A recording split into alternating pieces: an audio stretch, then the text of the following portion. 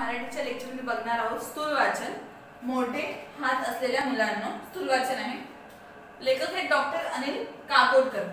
याचा जन्म nineteen forty three Madhya Pradesh Baramati गावात झाला होता.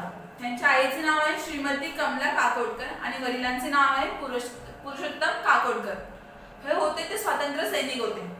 ह्यांचं जे प्राथमिक शिक्षण होतं ते गावातच झालं होतं आणि नंतर ते मॅट्रिक पर्यंत ते खारगाव येथे ते शिकले होते.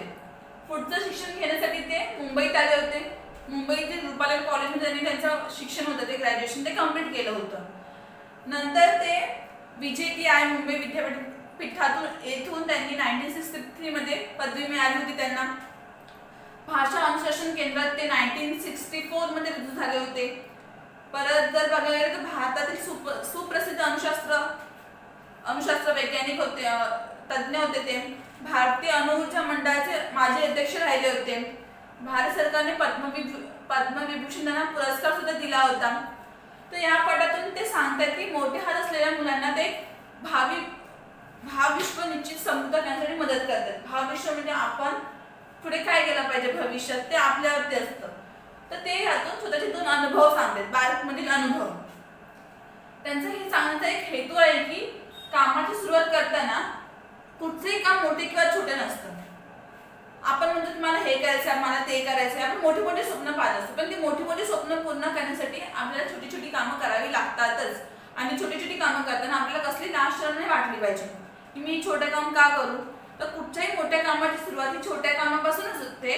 ते या पाठातून ते स्पष्ट करतायत आणि एक समजवण्याचा प्रयत्न करतात की जर तुमच्यामध्ये इच्छा असेल तर तुम्ही कुठचंही काम मनापासून करायला पाहिजे. तर आपले काम पूर्ण होतातच. तर या पाठात त्यांनी त्यांच्या बार्क मधील दोन अनुभव सांगितले आहेत. तर मोठे हातल्या पत्रातून हे एक पत्र आहे. त्यातून ते मुलांना त्यांचं भावी आयुष्य निश्चित करण्यासाठी दोन स्वतःचे पर्सनल अनुभव सांगत आहेत. तर ते म्हणजे त्यांना खात्री आहे की या अनुभवातून त्यांच्या आताच्या पिढीला थोडीशी मदत मिळेल की ते त्यांचं फ्युचर कसं घडवू शकतात. तर ते पहिला अनुभव सांगतात आहे त्यांचा कॉलेजमधला कॉलेज संपून जेव्हा ते बार्कमध्ये गेले होते तेव्हा त्यांचा तो फर्स्ट अनुभव आहे त्यांचा पर्सनल लाईफचा तो आपल्याला ते सांगत आहे ते म्हणतात की अरे हो म्हणजे बार्कमध्ये ते गेलेच पण बार्क म्हणजे काय हे आपल्याला माहितीच नसेल. तर बार्क हे संशोधित संक्षिप्त रूप आहे. कोणाचे आहे? Bhabha atomic research centre. Bhabha atomic research सेंटरचं संक्षिप्त रूप आहे. फिर शॉर्ट ऑफ फॉर्म आहे बार्क त्याला अनुशासन केंद्र भाभा अनुशासन केंद्र असे सुद्धा नाव आहे त्याचे. या नावाचं लघुरूप आहे ते. तर ह्या गोष्टीचं नाव कशावरून ठेवलं? तर होमी जहांगीर भाभा होते. त्यांनी भारतीय अनुशासन अनुशास्त्राचा पाया घातला होता. म्हणून त्यांच्या नावावरून या सेंटरला भाबा ऑटोमिक रिसर्च सेंटर नाव देण्यात आलं होतं. तर ते म्हणतात की आम्ही जेव्हा जॉईन झालो म्हणजे आता ही जी इन्स्टिट्यूशन आहे ती खूप मोठी आहे. पण जेव्हा तिथे डॉक्टर अनिल काकोडकर जॉईन झाले होते नाईन्टीन सिक्स्टी थ्रीमध्ये तेव्हा ही संस्था चालू होऊन जेमते म्हणजे फक्त चालून सात सहा सात वर्ष झाली होती. आणि तिथे ही शंभर मुलं मुली होते. तर ते म्हणतात की आम्ही शंभर मुलं मुली होतो आणि जेमतेम सहा सात वर्ष चालू झाली होती. झाली होती संस्था चालू झाल्यानंतर. तर ते म्हणत होते की जेव्हा ते त्या ठिकाणी होते ते तीन चार वेळा होमी बाबा तिथे आले होते. ते म्हणतात की त्यांचं व्यक्तिमत्व म्हणजे एकदम स्फूर्तीदायक प्रेरणादायक उत्साही होते. कधी पण याची ते प्रेरणा द्यायची उत्साह निर्माण करून जायचे. तर जेव्हा ते एकदा आले होते तेव्हा ह्या सगळ्यांनी त्यांना एक प्रश्न केला होता की आम्ही ते शंभर मुलं मुली आहोत. पण इथे तेवढं काम नाही जेवढं आम्हाला मिळेल. खूप थोडंसं कमी काम आहे. तर त्यावरती ते म्हणाले होते की तुम्ही तुमचं संशोधन करत राहा. त्या संशोधनासाठी जेवढा खर्च येईल ते भारत सरकारला देईलच तुम्हाला. त्याची काळजी तुम्ही करू नका. आणि काम नसेल तर तुम्ही निर्माण करा तुमचं स्वतःहून काम. तुम्ही शोधा की तुम्हाला काय काम करायचंय कसं करायचंय. आपल्याला आपला बॉस सांगतो की एवढं काम कर म्हणजे आपलं काम झालं असं नसतं. आपण आपलं काम शोधत राहिलं पाहिजे. आज आपल्याला बॉसने काय काय काम सांगितलंच नाही याचा अर्थ असं नाही की आपल्याला काहीच काम नाही. तर ते म्हणत होते की आपल्या आपण स्वतःहून शोधलं पाहिजे की आपल्याला काय करायचं आपल्या कामामध्ये नवीन नवीन तर ते म्हणतात की त्यांच्या गोष्टीने मला एक गोष्ट कळली की स्काय इज द लिमिट जसं की आपण लहानपणी लहान असतो तेव्हा आई बाबा आपल्याला बोर्ड पकडतात आपला. आणि आपल्याला दिशा दाखवतात. चालताना आपला हात धरतात. ते काही काळपर्यंत ठीक असतं. तसंच रिअल लाईफमध्ये पण असतं. जे तुम्ही काम करतात तर स्टार्टिंगला एक ठीक आहे सांग की बाबा तू एवढं काम कर तू तेवढं काम कर. पण एक लिमिट येते की तिथे आपल्याला कळायला पाहिजे की मला काय काम करायचं आहे मी नवीन नवीन काय शोध करू? मी कसलं काम करत राहू की ज्याच्याने मला म्हणजे काम करत राहण्याची सवय लागेल? तो एक जो अनुभव होता त्यांचा स्वतःचा स्व अनुभव. तो त्यांना एकदम आनंदित होऊन गेला. ते म्हणतात की त्यांचा जो वाक्य होतं त्यावेळीचं की माणसाने स्वतःचं काम स्वतः तयार केलं पाहिजे. तो त्यांच्या मनात कोरलं गेलं होतं. आणि त्यानंतर ते स्वतःचं काम स्वतः शोधत होते. करत पाहिजे काम सारखं सारखं तर त्यांच्या बोलण्याचं तात्पर्य होतं की प्रत्येक माणसाला स्वतःहून सक्षम झालं पाहिजे. स्वतःहून एक पावर बनला पाहिजे की कोणी आपल्याला काही सांगायची गरज नाही. आपल्याला कळायला पाहिजे की आपण काय केले पाहिजे. पण स्वतःच्या मार्ग स्वतः शोधता आला पाहिजे. म्हणजे आपल्याला समजत नाही की काय करू. तो विचार केला पाहिजे की मी काय करायला पाहिजे. दुसऱ्या कोणी सांगायला नको की तू बाबा हे कर तू ते कर. तर स्वतःची कामं स्वतः शोधा आणि स्वतः काम निर्माण करा स्वतःसाठी. अपॉर्च्युनिटी स्वतः तयार करा असं त्यांचं मत होतं. होमी बाबांचं. आणि ते मत लेखकांना म्हणजे खूप त्यांचा विचार लेखकांना पटला होता. त्यांनी स्वतःचा तो विचार त्यांच्या मनात कोरला होता. आणि ते स्वतःसाठी काम निर्माण करायला लागले सुद्धा होते. तर लेखिकांचा पहिला अनुभव होता की स्वतःचे मार्ग स्वतः शोधले पाहिजे. लेखकांचा दुसरा अनुभव होता की जेव्हा ते त्यांचं ट्रेनिंग कंप्लीट करतात आणि त्या केंद्रामध्ये ॲज अ इंजिनियर म्हणून जॉईंट होतात तेव्हा त्यांना मेटलायझिंग प्रक्रियेवरती काम करण्याची संधी मिळते. तर त्यासाठी त्यांच्याकडे यंत्रसामग्री सुद्धा असते. यंत्रसामग्री म्हणजे मशीन्स किंवा जे पण त्यांना टूल्स लागतील ते सगळे तिथे अवेलेबल असतात उपलब्ध असतात. पण ते म्हणतात की त्यांना काम करण्यापूर्वी फोरमॅन आणि वेल्डर याची गरज होती काम करण्यासाठी. आणि त्यांनी त्यांच्यासाठी वरिष्ठांकडे मागणी केली मला एक वेल्डमॅन वेल्डर आणि फोरमॅन हवाय कामासाठी. तर वरिष्ठ म्हणाले तुम्हाला काम करायचं असेल तर करा तुम्हाला आता कुठचीही मदत मिळणार नाही. तर वरिष्ठांची आज्ञा म्हणजे वरिष्ठ म्हणजे सिनियर्स सिनियरच्या आज्ञेचं त्यांनी पालन केलं आणि त्यांनी स्वतःहूनच काम करायला सगळे सुरुवात केली. त्यांचं सगळं जेव्हा कार्यक्रम तो संपला कामाचा तर त्यांनी ठरवलं की ह्याच्यामध्ये आपण अजून काय वाढवलं पाहिजे कसे बदल केले पाहिजे. तर त्यांचे ते काम बघून त्यांना वरिष्ठांनी विचारलं की आता सांग तुला कुठची मदत पाहिजे कोण कोण तुझ्या हाताखाली तुला पाहिजे. तेव्हा डॉक्टर अनिल काकोडकर म्हणाले की मला कोणी नको मी स्वतः सगळं करेन. तेव्हा ते म्हणाले की काम जे असतं ते एकट्याने कधीच होत नाही. आणि तुम्हाला आम्ही सुरुवातीला का नाही दिलं? कारण तुमच्या आधी सुद्धा सगळे जे येत होते ते म्हणत होते की आम्हाला वेल्डर पाहिजे किंवा फोरमॅन पाहिजे. आणि आम्ही त्यांना ते दिले नाही तेव्हा त्यांनी कोणीच कामाला हात लावला नाही. पण तुम्ही स्वतःच्या हिमतीवरती एवढं सगळं केलं. तुम्ही हे करू शकता ते लोक इतरांना माहिती आता ते तुमचे ऑर्डर्स ऐकतील तुमच्या हाताखाली काम करतील. तर त्याचं तात्पर्य हे होता की तुम्हाला कोणालाही आज्ञा किंवा ऑर्डर द्यायच्या आधी तुम्हाला येतं की नाही ते सिद्ध करा पहिला. तुम्हाला मग आधी स्वतःला सिद्ध करा मग एखाद्या गोष्टीची मागणी करा. तर आम्ही तुम्हाला ते पूर्णपणे देऊन असं त्यांचं मत होतं. आणि एखादं काम एवढं मोठं होतं की नंतर ते एकट्यानं करणं कठीण असतं. कोणाची ना कोणाची मदत घ्यायला लागतेच. ज्युनियरची म्हणून तुम्ही तुमच्या हाताखाली माणसं घ्या तुम्हाला हवे ते मागा आम्ही तुम्हाला आता ते देऊ. कारण त्यांना सुद्धा समजलं होतं की डॉक्टर अनिल काकोडकर म्हणजे तेवढी क्षमता आहे. ते काम करतील. आणि त्यांच्या हाताखालच्या लोकांना सुद्धा एक बरोबर गाईडलाईन्स देतील की कसं काम केलं पाहिजे. आणि सुरुवाती कोण म्हणजे स्टार्टिंगमध्ये कोणाला एवढा अनुभव नसतो की कसं काम केलं पाहिजे. म्हणून पहिला आपण स्वतःला दाखवून देऊ शक दाखवायचं असं की आपल्यामध्ये तेवढी कार्यक्षमता आहे एखादी काम करायची. आणि आपण आपल्या हाताखालच्या लोकांना सुद्धा हँडल करू शकतो. म्हणून ते बोलत की पहिलं तुम्ही सिद्ध करा. आणि लेखक म्हणजे डॉक्टर डॉक्टर अनिल काकोडकरांनी ते सिद्ध करून दाखवलं की त्यांच्यामध्ये कार्यक्षमता आहे ते काम करण्याची. म्हणून आता ते त्यांना फोरमॅन आणि वेल्डर द्यायला तयार होते. आणि जे जे मागतील ते सुद्धा त्यांना प्रोव्हाइड करणार होते. तर हा होता लेखकांचा दुसरा अनुभव.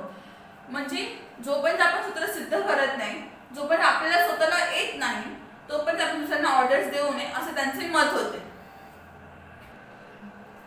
तर हा होता त्यांचा दुसरा अनुभव की आधी आपण स्वतःला सिद्ध केलं पाहिजे तरच लोक आपली कामं ऐकतील. तर हे त्यांचे पन्नास वर्षापूर्वीचे अनुभव होते. ते त्यांनी आता सांगितले की आपल्या पुढच्या पिढीला त्याचा उपयोग होईल. ह्यातला जो आशय होता म्हणजे सांगण्याचे तात्पर्य होता तो आपण समजून घेतला पाहिजे. पहिल्या अनुभव मधून काय समजत येते की कुठचंही काम छोटं किंवा मोठं नसतं. आणि आणि आपण ते करत राहायला पाहिजे.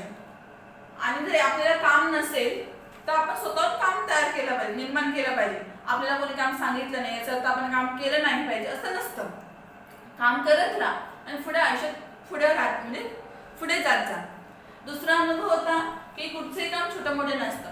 जो त्याने लोक म्हणजे त्यांच्या हाताखाली वेल्डर और फोरमॅन दिलं नव्हतं तर ते म्हणू शकले असते की मी काम करणार नाही जर मला कुठची मदत मिळत नाही. तरी सुद्धा ती त्याने कामं स्वतःहून केली.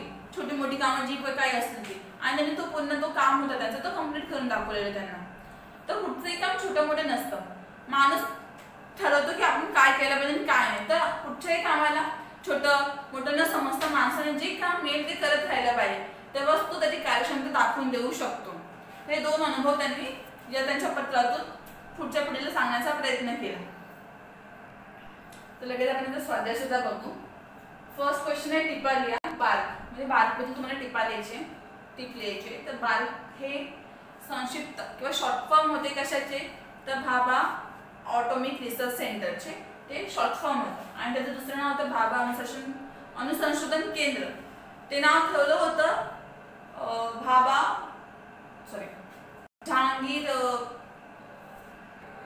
डॉक्टर होमी जहांगीर भाभा भारतीय अनुशासन अनुशासनाचा पाया घातला होता.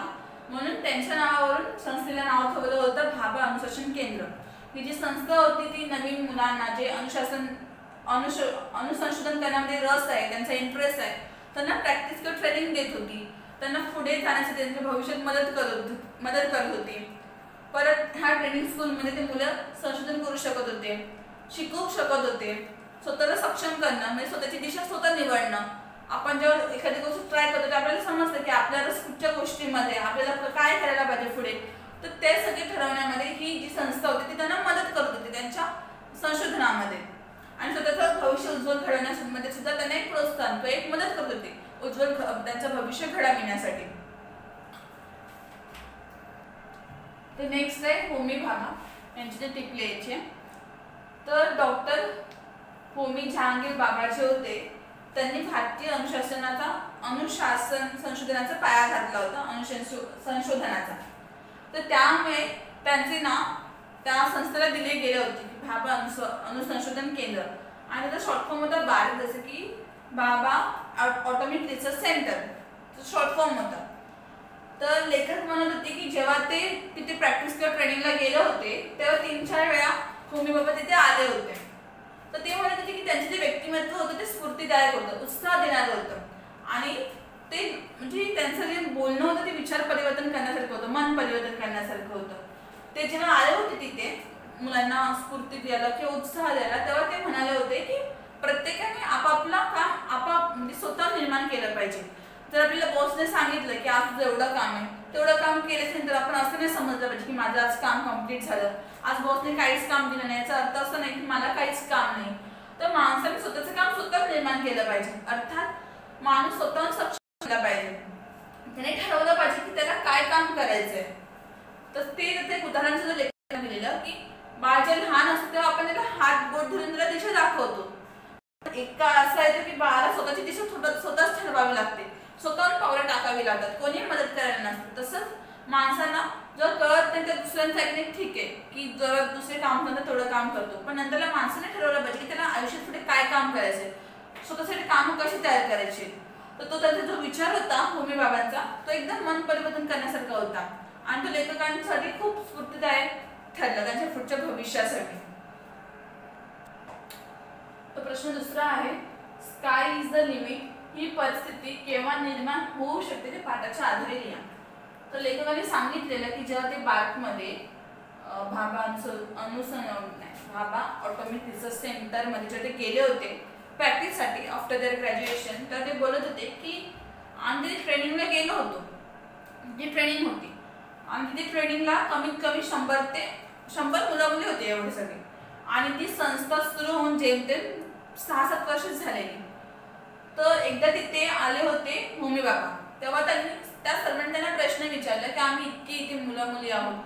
पण तेवढं काम नाहीये की आम्हाला ते सगळ्यांना पुरे म्हणजे जमेल करा.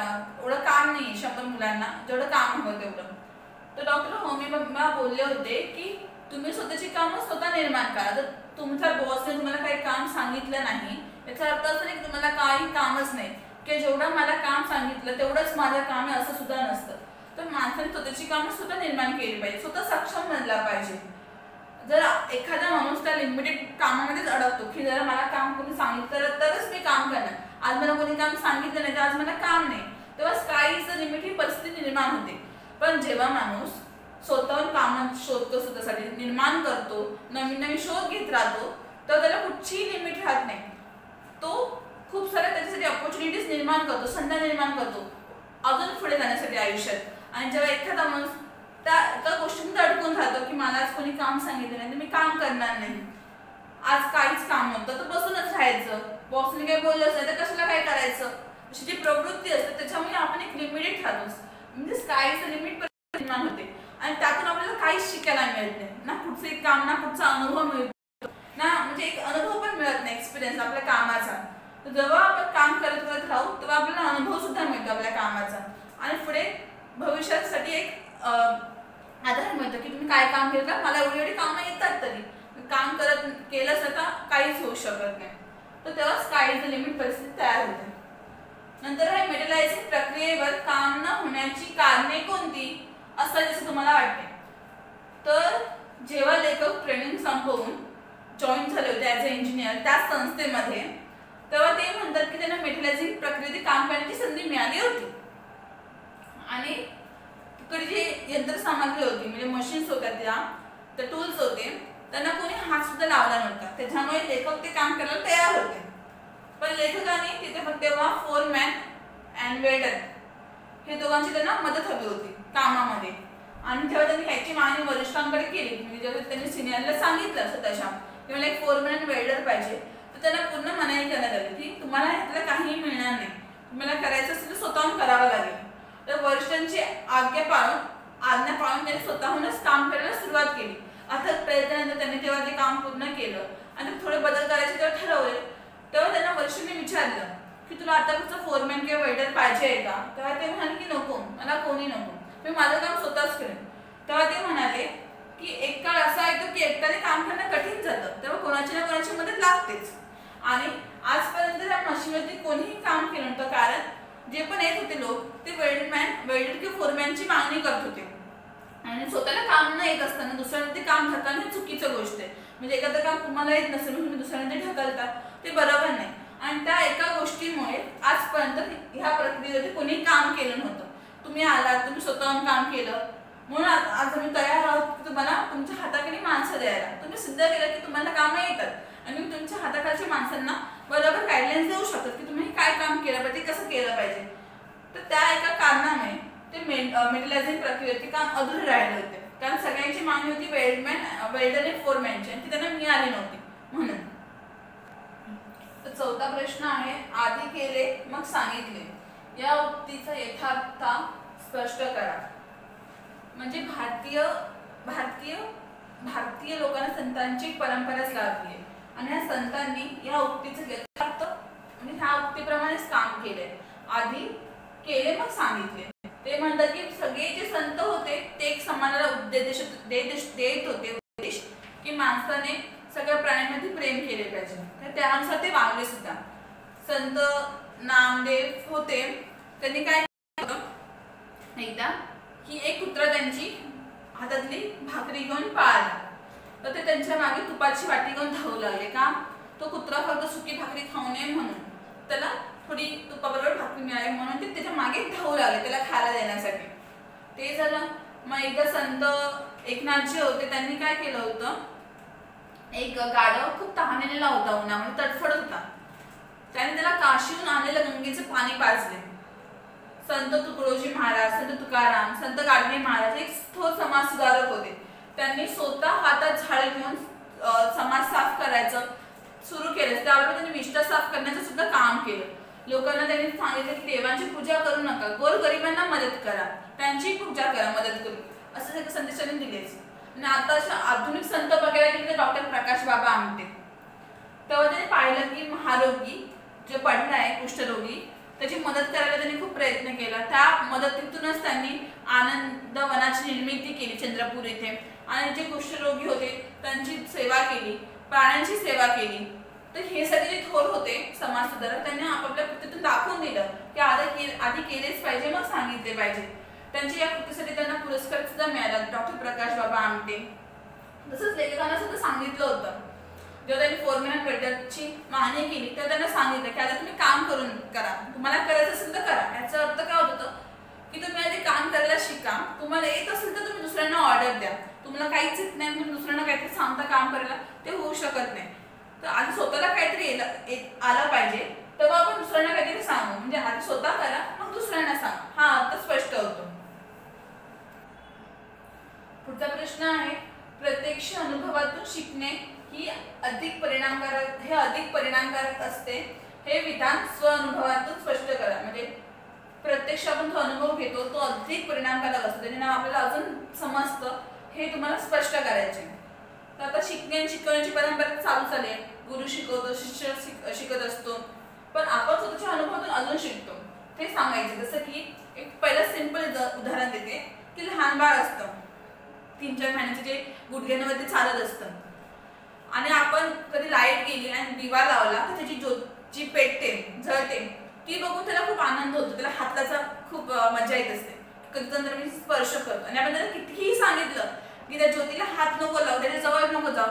तरी ते बाळ लेंगत लेंगत जाणार आणि जर तुम्ही तुमचं लक्ष चुकवून चुकून हात लावला तर त्याला कळतं मग की आपण या ज्योतीला हात लावला तर आपल्याला चटका मिळतो स्व अनुभव त्याचा. आपण इतक्या वेळेला सांगत होतो पण त्याला काही पटलं नाही. पण जर त्याने स्वतः स्वतःच्या हाताला चटका लावून घेतला तर त्याला कळालं की या ज्योतीपासून चटका लावतो तर सेकंड टाइम परत तिथे जाणारच नाही त्या ज्योतीच्या मागे मागे.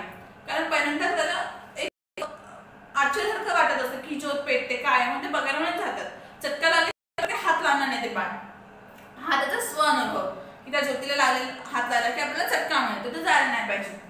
दुसरं असं की आपण ज्या शाळेत असतो आणि टीचर्स लोक आपल्याला शिकवतात गणित किंवा काहीही. तर गणित जेव्हा शिकवतात तर आपण घरी येऊन त्यांची प्रॅक्टिस करतो. तर त्यात एखाद एखाद दोन चुका झाल्या तर आपल्याला कळतं आपल्या चुका कुठे होत आहेत का होत आहेत. मग तो जो स्वतःचा अनुभव असतो सॉल्व्ह करण्याचे सम त्याच्याने आपण कळतो की आपण कुठे चुकतो कसे चुकतो.